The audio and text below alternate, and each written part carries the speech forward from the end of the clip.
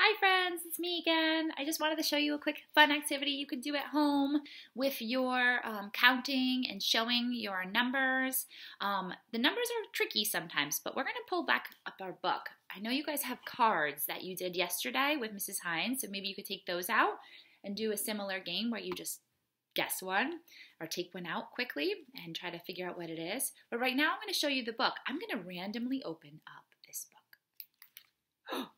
what number is that? six. Oh my goodness, I love the number six. I'm going to put this book down and I'm going to write the number six. Six. Now you can have your moms or your dads or someone write the number six or whatever number you're doing. But next to underneath that six, I'm going to draw a ladybug and I'm going to teach you how to. So the first thing you need to do is draw what shape is a ladybug? see if you could tell. What shape is that? a circle.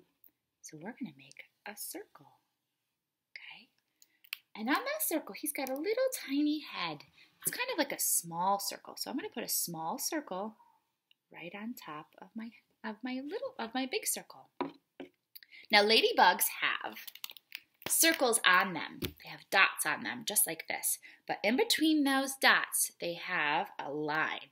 So I'm going to make a line. Can you do that too? Uh-oh, my marker's not working. We use it a lot here. So I have my line. So first I drew a circle, then I drew a little circle on it. I made a line. Now I'm going to use this number six right here. See that number six? I'm going to use that and I'm going to make six dots on my ladybug. So ready? I'm going to do one circle. Can you count them with me? Two circles three circles, four circles, five circles, six circles. Just like that. Now I have a ladybug with six dots on him. So you could do this at home. Remember how we do this during circle time? We often have a follow the leader, right? Mrs. Hines or I draw something and you guys try, to copy it too. So if you can do this at home, that'd be great. And what you could do is you can actually do it again if you want to get another piece of paper. Um, you could do this on your chalkboards if you have one. I'm going to do the number um, two. There we go.